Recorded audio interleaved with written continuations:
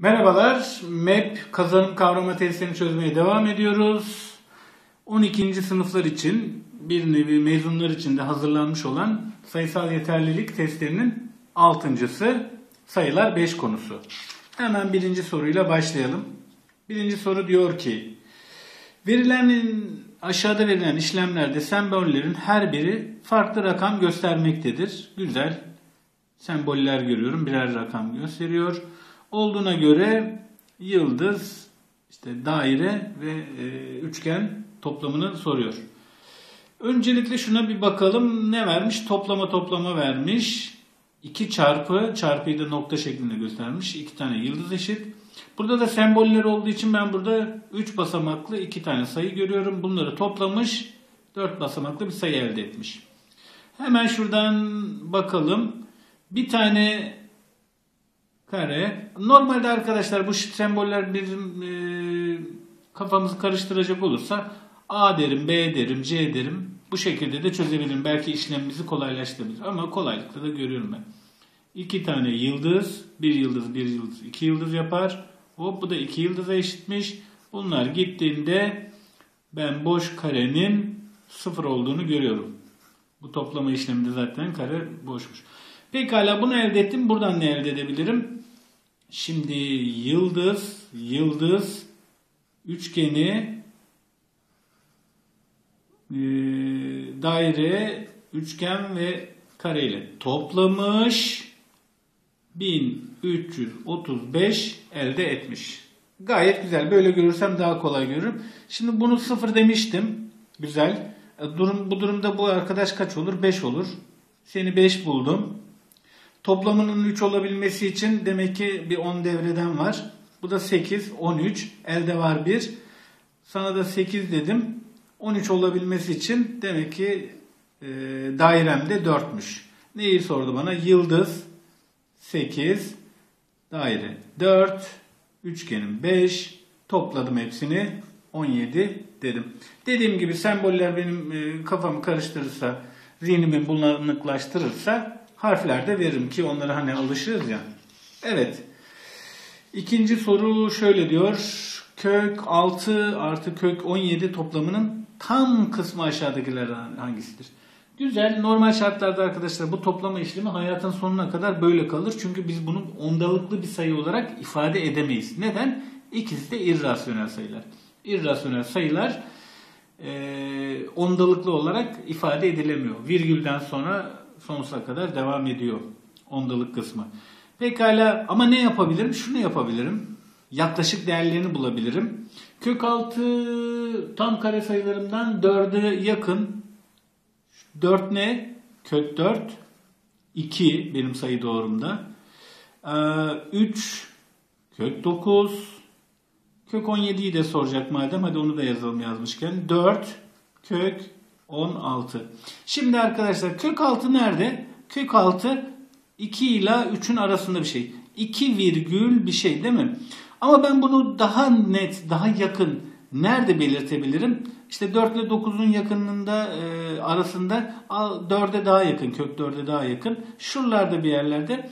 Ben bir şey daha biliyorum. Mesela bakın 6'yı bulacağım ya bir sayıyı kendisiyle çarpacağım. 25'in karesini düşünelim. 625'tir. 2.5'un karesini düşünün 6,25'tir. Önce 25'i söyledim 2.5'un karesini kolay hesaplayalım diye. Bakın bu arkadaş 6 bile olamamış. Yani 2.5'tan bile küçük.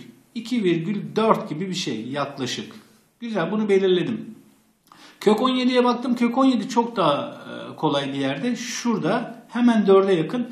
4,1 bile neredeyse olamayacak. Yaklaşık bu şekilde diyelim. Bana zaten tam kısmını soruyordu. Bu iki arkadaşı toplarsam 6 virgül bir şey yapar değil mi? Bakın şu e, virgülden sonraki kısımlar tam bir sayı bile elde edemiyorlar. Zaten şıklarda da çok karıştırmayalım diye bakın 7'yi falan vermemiş, 5'i vermemiş. 6 virgül bir şey. 6 tam artık neyse. Evet. 2'yi de kolaylıkla buldum. Köklü sayıların yaklaşık değerini bulmanın en güzel yolu sayı doğrusu üzerinde belirtmektir arkadaşlar. Üçüncü soruyla devam edelim. A ve B birer doğal sayıdır. A bu imiş, B de bu imiş. Bakın ikisini de x'e bağımlı, e, bağlı vermiş. Buna göre A çarpı B'nin en büyük değeri nedir? Arkadaşlar bunlardan çokça çözdük biliyorsunuz. Mesela şöyle diyelim. A artı B e, bu sefer başka bir şey söyleyeyim. 20 olsun. Tam sayılar. Bunların bakın 1, 19, 2, 18 vesaire olur. Çarpımları ne zaman en büyük oluyordu? 1 ile 19'u çarpsam 19. 2 ile 18'i çarpsam 36. Gittikçe büyüyor. Bu iki arkadaş birbirine yaklaştıkça çarpımları en büyük olur. Eğer rakamları birbirinden farklı, birbirinden farklı demezse A ile B'yi 10 ve 10 en büyük çarpımları 100 olabilir. Birbirine en yaklaştığı yer. Bu durumda da yine aynı şeyi söyleyeceğim ben. Bunu da niçin düşündüm? Bakın x'e ben değerler verdikçe a büyüyor ama b küçülüyor. Ki doğal sayı dedi. x'e en fazla 8 verebilirim görüyorsunuz. 8 versem bu arkadaş 0 olur bu 14 olur yazık olur. x'i bir e, küçülttükçe işte 7 verdikçe bu 1 13 oluyor. Birbirine yaklaştıralım. En kolayı da tamam deneyerek de görebilirim bunu. Çok da güzel gözüküyor zaten. Nasıl? 1 verdiğimde 7, 1 verdiğimde 7. E bunu başka nasıl bulabilirdim? Bu ikisini birbirine eşitleyerek. Derdim ki bu arkadaşla bu arkadaş birbirine eşit olacaktı. Madem 2x eşittir 2, x eşittir 1. Gördüğünüz üzere böyle de bulurum. Bu durumda a 7 çıkar, b de 7 çıkar. 7 ile 7'yi çarparım. 49 cevabını bulurum. 2'nin ee, olmadığını görelim. x için 2'nin. 2 verirsem 8 olur. 2 olursa 6 olur. 6 kere 8 48 yapar ki 49 48'den büyüktür. 4 ile devam edelim. Evet 4 şöyle sesleniyor bize. A ve B rakamları A ve B farkları 38 olan iki doğal sayı. Güzel. Ne anlıyorum? Hemen şunu anlıyorum. A eksi B 38'miş. Bunu anladım. A bölü B ve B birer asal sayıymış. Çok güzel. Olduğuna göre A artı B nedir? Hmm. Şimdi ben asal sayıları biliyorum. 2, 3, 5, 7 vesaire diye. Şimdi B'ye asal sayıları denesem sonra A'yı bir şeyler bulmaya çalışsam bunları şey Arkadaşlar böyle ömür geçmez biliyorsunuz daha önce de söyledim. Deneye deneye olmaz. Matematik bilgimizi biraz kullanmamız lazım. O da ne? Bakın A bölü B'yi soruyor. Ben A ile B arasında bir ilişki biliyorum. A'yı hani hangisi büyük seçersem ben burada A'yı büyük seçtim. A nedir? 38 artı B'dir değil mi? Çok güzel. Ya da B artı 38 de diyebilirim. Bakın A bölü B'yi asal istiyor. Gelin bir inceleyelim şunu. A yerine B artı 38 yazdım. Bölü B. Şimdi bunun asal olmasını bekliyorum. Ne görüyorum? Payda da e, tek bir sayı pay toplanmış. E, demek ki bu arkadaş B bölü B artı 38 bölü B değil mi?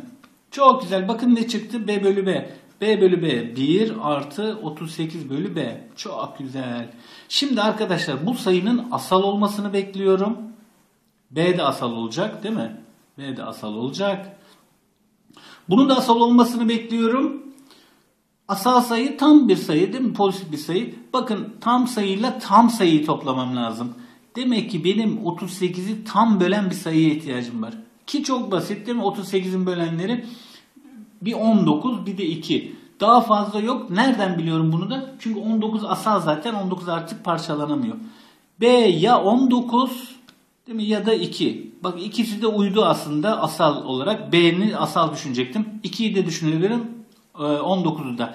Bunun için yaptım. Şimdi burada 2, 3, 5, 7'lerle çok sayıda deneme yapacaktım. Bu denemeleri yaparak da ulaşabilirim. Ama ne yaptım? Matematik bilgimi konuşturdum. Yorulmaktan, angarya işlemlerden kendimi kurtardım. Hop. 2 düşündüm. 19 artı 1 20. olmadı bu asal olmadı. Bir seçeneğim kaldı artık. 19. 38'i 19'a böldüm. 2. 1 artı 2. Hop 3 oldu. Demek ki bak 3'ü de yakalım. Bu asal. Demek ki B içinde düşünmem lazım. 19. Yanlış yapmadık değil mi? Evet. B 19'muş. Güzel. B 19 ise aralarındaki fark 38'di. B A'da 39 38 artı 19'du. A'yı da bulalım. Hemen sonra da A artı B'yi soruyor bana. 7 57 oldu. İkisini de topladım. 76 sonucuna ulaştım. Bir başka deyişle şöyle de yapabilirdiniz. A artı B'yi soruyor değil mi? A zaten 38 artı B. Demek ki 2B artı 38'i soruyormuş. 2B zaten 38. 38 artı 38 de 76 yapar. 5 ile devam edelim.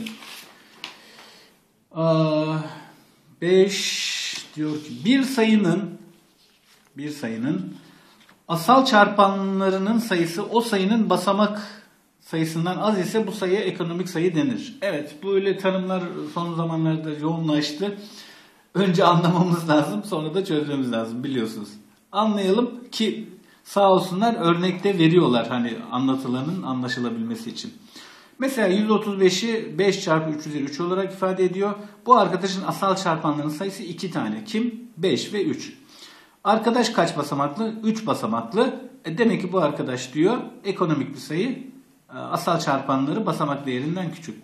Buna göre aşağıdakilerden hangisi ekonomik sayıdır? Hmm, güzel. Şimdi burada da madem zaten seçenekler verdi bu arkadaşların hangisinin e, ekonomik olduğunu görmek için 36'yı denemeye başlayacağım. Şimdi size birkaç şey daha söylemek istiyorum. Burada normal şartlarda arkadaşlar bir sayının asal çarpanlarını ayırması şu algoritma ile yapılıyor. Bunu hepimiz biliyoruz değil mi? 36'yı bölüyorum. 2, 18, 2, 9, 3, 3, 3, 1. Demek ki 36 diyorum. 2 üzeri 2 çarpı 3 üzeri 2'ymiş. Ben böyle durumlarda arkadaşlar bunu uzun uzun düşünmüyorum da şöyle düşünüyorum. Bak 36'yı mümkün olduğunca küçük parçacıklara ayıracağım. 36 çok tanıdık. 6 çarpı 6. Bunlar hala parçalanır? Parçalanır. 2 çarpı 3'tür. 2 çarpı 3'tür. Bakın neye ulaştım? Yine aynı şeye ulaştım. Çok hızlı ulaştım. 36'nın kaç tane asal e, çarpanı var? Evet asal çarpanı 2 tane. Kendisi de 2 basamaklı ekonomik bir sayı değilmiş. Şimdi 108 için de böyle uzun uzun algoritma yapabilirim. Ya da hemen bulabilirim. Nasıl bulabilirim? Şöyle bulabilirim. 36 çarpı 3'tür 108. Değil mi? 36'nın 3 katıdır. Çok ders çalışanlar e, bu tür sayılara zaten hakim oluyor biliyoruz. 36'yı az önce yaptım zaten değil mi? 2, 2, 3 ve 3 vardı. Bir tane daha 3 var. E, başka da başka böleni yok arkadaşın zaten asal çarpanı. 2 üzeri 2 çarpı 3 üzeri 3 imiş. 2 tane asal çarpanı var. Kendisi 3 basamaklı. Demek ki burada ekonomik olan sayım 108'miş.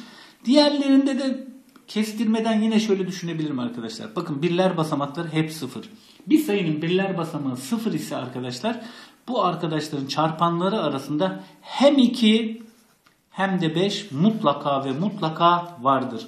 Ben başka hiçbir şekilde 10 sayısını elde edemem. 2 asal sayının çarpımı şeklinde. Sadece ve sadece 2 ve 5 asal sayılarının çarpımı 10 olur ki birler basamağım e, 0 olabilir. Bunu şunun için söyledim. Bunlarda da 2 ve 3 yine var çarpanlar. Bir de yanlarına 5 geliyor. Ekonomik sayı olamıyorlar. 6 ile devam edelim. Yine klasikleşmiş bir soru. İşaret soruluyor. A, B, C birer gerçek sayı vermiş, vermiş, vermiş. Olduğuna göre A, B, C'nin işaretlerini soruyor. Arkadaşlar ben buralarda pozitiflik, negatiflik aradığımda ilk bakacağım şey karesi, dördüncü kuvveti, altıncı kuvveti yani çift kuvvetlere bakacağım. Çünkü çift kuvvetler olduğunda sayı artı da olsa, eksi de olsa neydi? Şey değişmiyor. Ee, netice değişmiyor. Her zaman pozitif oluyor. Şurada daha detaylı anlatmaya çalışayım. A küp, B, C kare bu. A artı B çarpı C 0. C çarpı A eksi B'nin karesi küçük 0. Bayağı da uzun şeyler vermiş değil mi işlemler. Bakalım. Şimdi şurada güzel bir tane kare yakaladım. Mutlaka ve mutlaka C hakkında bir şey söylemiyorum. C kare hakkında söylüyorum. Bu pozitif. Bununla bunun çarpımında pozitif olması lazım ki çarpım pozitif olsun.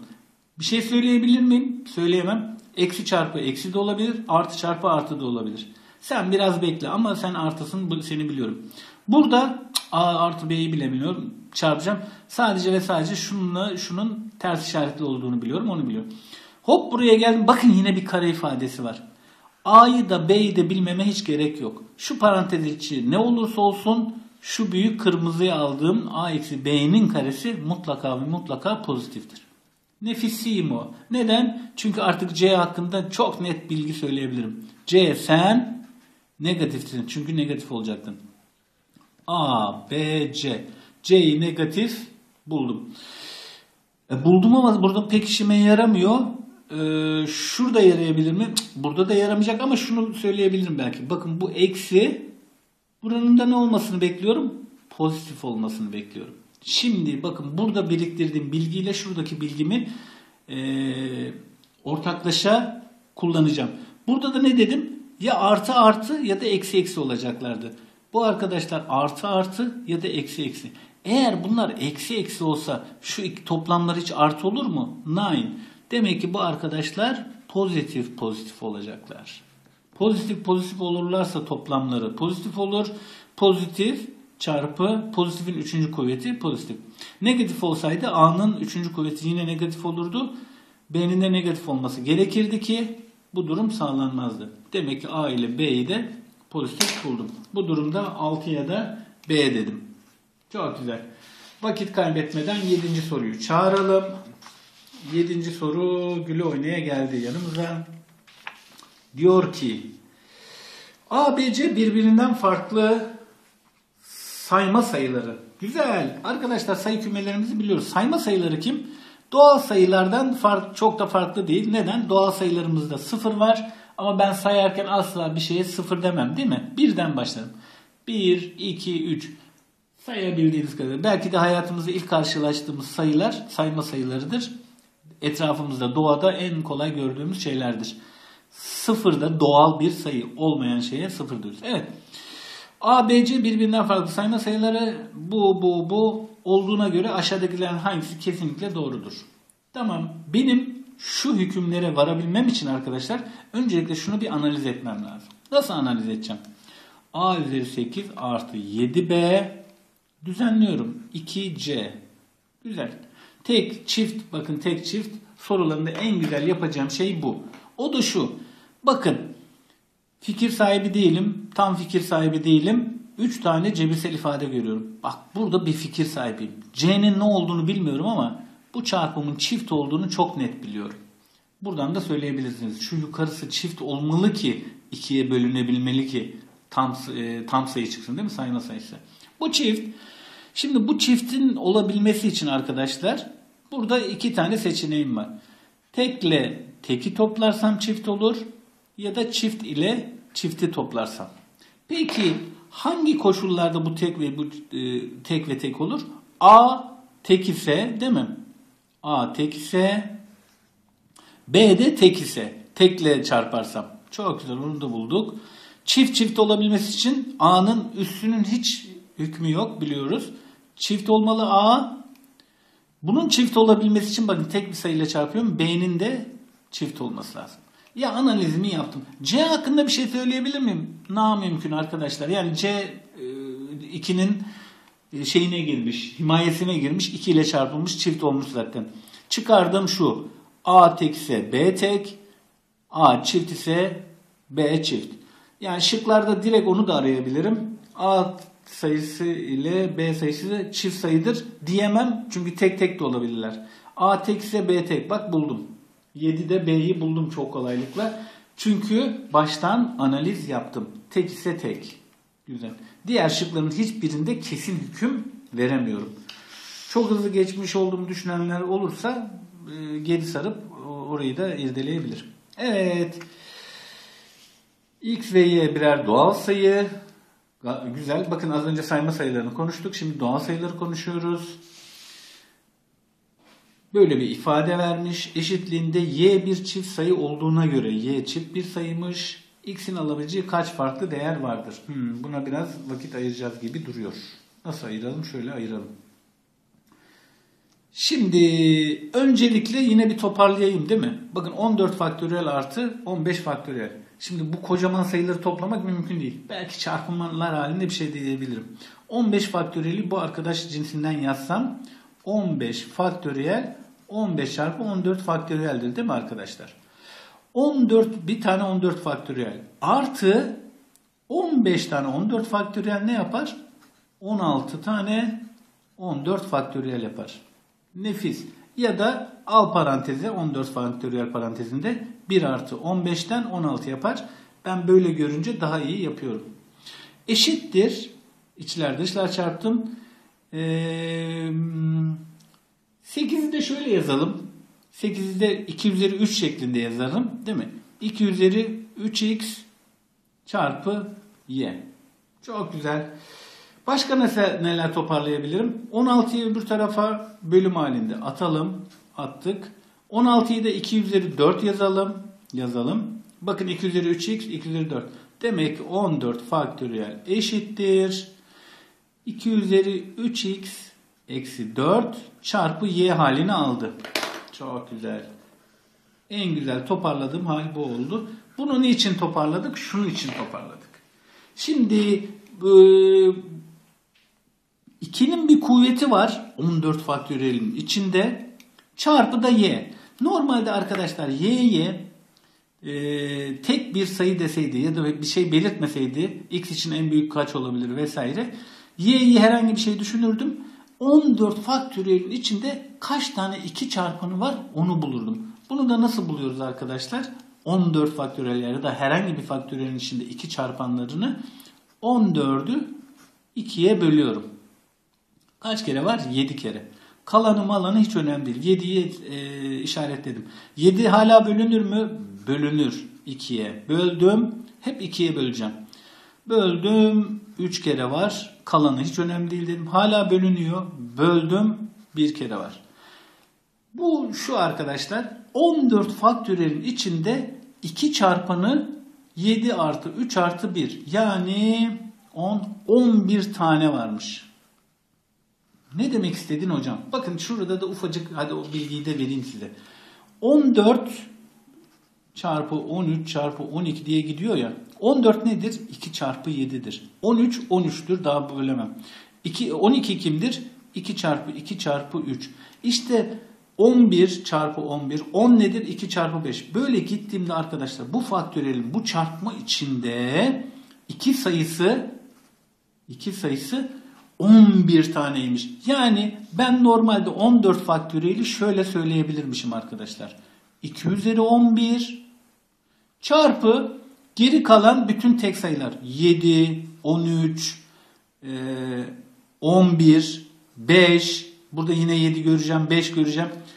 O da ye, ye, e, diyelim ki A olsun, başka bir sayı olsun. A olsun. Ben bunu böyle ifade edebilirmişim 14 faktöriyeli. Ama diyor ki şu y diyor çift sayı. Yani şu 10 şu ikilerden bir tanesinin en az bir tanesi y'de var. Hmm, çok güzel. O zaman ne diyeceğim arkadaşlar?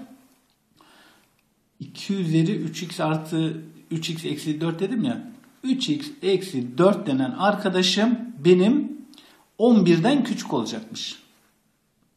Eğer 11 olursa 11 olursa şu arkadaş şu çarpan çift olamıyor. En az bir tane 2'yi bu arkadaşa vereceğim. Güzel verdik. Ne oldu? 3x 15'ten küçük oldu. x de 5'ten küçük oldu. Demek ki 5'ten küçük bütün şeyleri verebiliyorum. 5 eşit dedim mi? Abi eşittir kim dedi? Küçük eşit yok arkadaşlar küçük. Çünkü küçük eşit olsa 11 tanesini alıyor bu arkadaş e, çift olamıyor. Güzel y için. E, bu durumda neler var? Ne demişti bana? Doğal sayılar demişti. 4 olabilir, 3 olabilir, 2 olabilir, 1 olabilir. Doğal sayılar demişti. 0 da olabilir. 0 olur mu? Olur. Bak 0 olursa burası eksi 4 oluyor. Bir ziyanı var mı? Yok. Y 14 faktöriyelden daha büyük bir sayı olabilir. E, 0 olursa 16'ya bölmüş olurum değil mi? Y bölü 16 gibi bir şey olur. Yani 14 faktöriyelin 16 katı olan bir sayı da pekala olabilir. Doğal sayı dediği için sıfırda kestim. Eksilere doğru da gidebilirdim. Demek ki x'in alabileceği kaç değer buldum? 1, 2, 3, 4, 5. 8. soruya da 5 dedim. 9'da devam edelim. 9 çok güzel bir Fibonacci dizisinden bahsediyor. Bu Fibonacci dizisini de ben yine başka bir videomda çekmiştim. İlgilenen arkadaşlar seyredebilir. Altın oran videolarımın başlığının altında. Evet. Fibonacci dizisinin ilk terimi 1 olup Ben size özetleyeyim. isterseniz okursunuz da. Fibonacci serisi, seriyi de vermiş. 1 1 başlar. Topla 2, topla 3, topla 5, topla 8, topla 13. Bu 13'te kesici biz devam edelim. Topla 21, topla 34 diye gider. Güzel. A, B, C'de Fibonacci dizinin ardışık 4 terimi. Çok güzel. Yani şöyle ardışık 4 terim olacak ya da şöyle ardışık 4 terimi olacak. Buna göre demiş A artı B artı C 110, B artı C artı D 178, A'yı soruyor. Hmm. Şimdi arkadaşlar bakın öyle bir şey çözecek ki. Ya zaten Fibonacci dizisi madem e, ardışıkların toplamı şeklinde ya. A ile B'nin toplamı C değil mi arkadaşlar? Değil mi bak? A artı B, C. Hepsini toplamış 110 yapmış. A artı B yerine C yazsam. Artı C. 110 değil mi? Güzel. C kim söyleyeyim bana? 55. Bağırıyor. Arkadaşlar C 55 ise bak şurada da dizimi yazdım. Hop. 55'i yazdım. Demek ki ardışık 4 terimi dedi. A, B, C. C'yi 55 buldum. Demek ki şu seriden hatta D'yi de yazalım. 89'u da yazdım. Arkadaşlar A kaç? A 21, B 34, C 55, D 89. Bunun için yaptım? Şunun için yaptım. B artı C artı D'ye ihtiyaç bile yokmuş. Yani teşekkür ediyoruz ama fazla bilgi vermişler bize. Şurada ben dizinin mantığını anladıktan sonra artık kolayca soruyu çözebiliyorum. A'ya ne dedik? 21 dedik. 9'a da C dedik. 10'la devam edelim. Ekonomik kullanalım vaktimizi. Şimdi heh, 35 kişilik sınıfta güzel. Öğrencilerin her biri temizlik, satranç ve kütüphanecilik kulüplerinden yalnızca birini seçmişlerdir. Her kulübün öğrenci sayısı birbirinden farklı ve herhangi bir iki kulüpte toplam öğrenci sayısı diğer iki kulüp öğrencinin fazladır. Buna göre sınıftaki temizlik kulübünün öğrenci sayısı en fazla kaçtır? Arkadaşlar kümeler gibi düşünelim.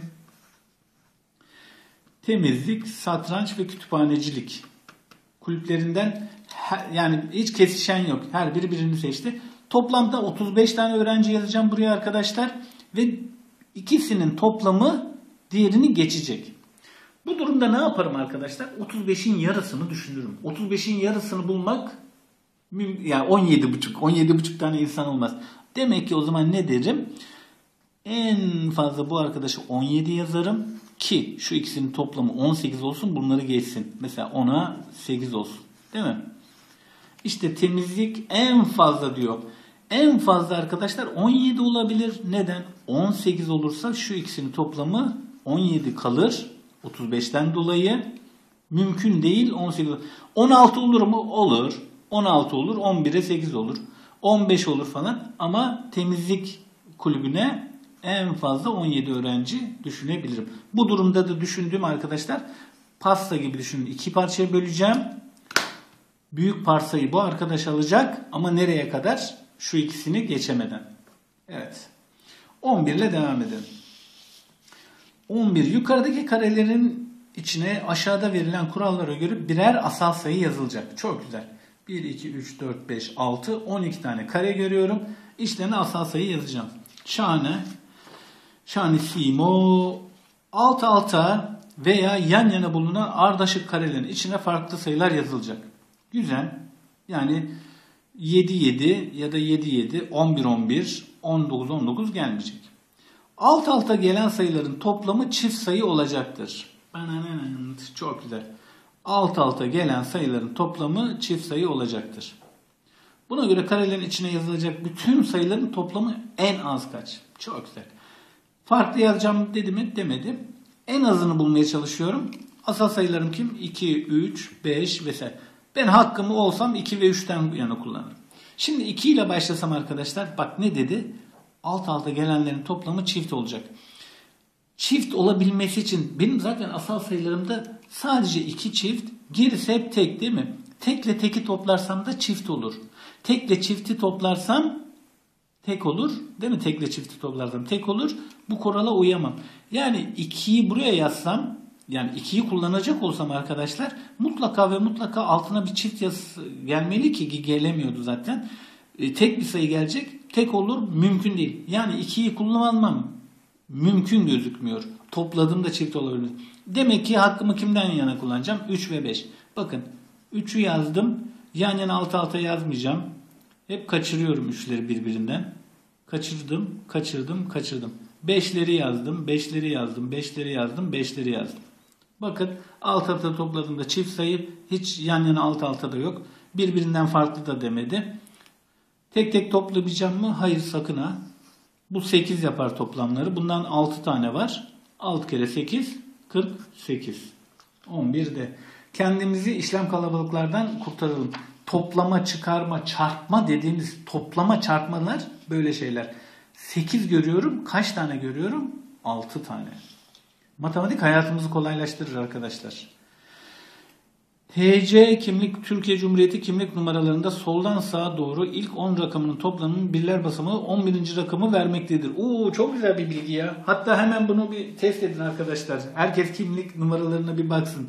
İlk 10 hanesini toplasınlar. Sonra topladıklarında birler basamağı 11. rakamı veriyor mu? Mesela demiş böyle bir şey. Bütün bu 10 tane rakamı top sayı rakamı toplamış 35 bulmuş. Birler basamağı kaç? 5. Evet 5 doğru. Siz de deneyebilirsiniz. Buna göre son 10 rakamı olan TC kimlik numarası ilk hanesi kaçtır? Güzel hızlı hızlıca yazalım da toplayacağız. Başka bir şansımız yok. 1, 1, 3, 9, 4, 5, 3, 5, 6. Şimdi şurada da bir şey var. Bunların hepsini toplayacağım. Birler basamağı bu gelecek. Ha, bu toplamada da arkadaşlar size kolayca şöyle bir şey söyleyebilirim. Biz onluk sayı sistemi kullanıyoruz ya. Her onlu ben silip atabilirim. Mesela 17. Ondan sonra 11, 12 diye saymama gerek yok ki değil mi? 1, 2, 3, 4 diye sayabilirim. Bunu şunun için söyledim. Bakın 9'da 1'i topla 10. Boşu boşuna toplamayın. 4, 5, 1. 20 etti zaten bunlar değil mi? Gerisini toplamama gerek yok. Başka böyle hemen silebileceğim bir şey bak. 3, 3, 4, 10 yapar. Sen de gittin. İsteyenler 30 da diyebilir. 35, 36 için 1 lazım diyebilir. Ya da 5, bana 1 lazım. Değil mi? 6 olabilmesi için. Hop. A'ydı şey 12'yi de 1'de. Bunun şunun için söyledim. Bazen bölünebilme kurallarında da olacak arkadaşlar. Mesela ben 18 işte 3 yakaladım ya. Her üçün katlarını tekrar tekrar saymama gerek yok. Burada da onluk sayı sistemindeki bilgimi kullandım. Evet e, kazanım kavrama testlerinin 6.sının da sonuna geldik. Sayılar 5. Sayıları bitirdik diye tahmin ediyorum. Evet bitirdik. Bundan sonra bölme bölünebilme videosunu çekeceğiz. Sağlıcakla kalınız.